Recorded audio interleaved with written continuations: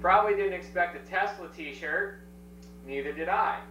But my mom and my aunt took my cousins and I to go see Def Leppard and Tesla at the Mohegan Sun Arena. And both my cousin Tim and I, at the time, had really long hair. So, of course, what does it say in the back? Something like long haired freaky people need not apply from that song that I didn't know.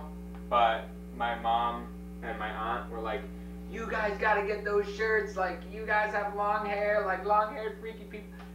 They didn't sound like that, but that's how uh, that's how they made us get these t-shirts. They didn't make us do anything, but like what am I gonna be like, no mom, that's stupid. You we're already at the Def Leppard show. Um, but then like we convinced ourselves that we liked Tesla just to have these T-shirts. It's silly. It was silly times. That's identity crisis, uh, big time in Kyle's concert career. We've made it to 2005, in a truly defining moment. I went to go see Mindless Self-Indulgence. I was a freshman in high school, and this was the first time I got to go to a concert without my parents. I got into like a like a two-seater truck with three people, me being the third, and we drove to New Haven, and we saw a band called the AKAs opened, then Suicide City, and then Mindless Self-Indulgence. I really loved me some MSI.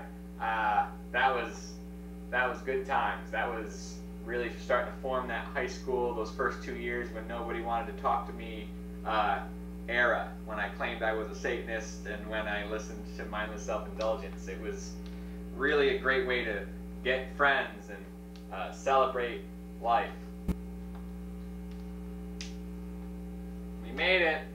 2006 started out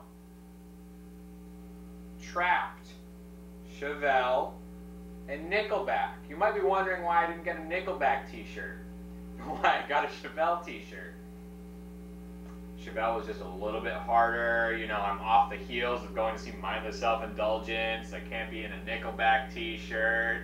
Um, Trapt, it just has Headstrong. But Chevelle, uh, Chevelle was the clear winner of that one. So, Mindless Self-Indulgence ended up becoming the first artist I saw more than once.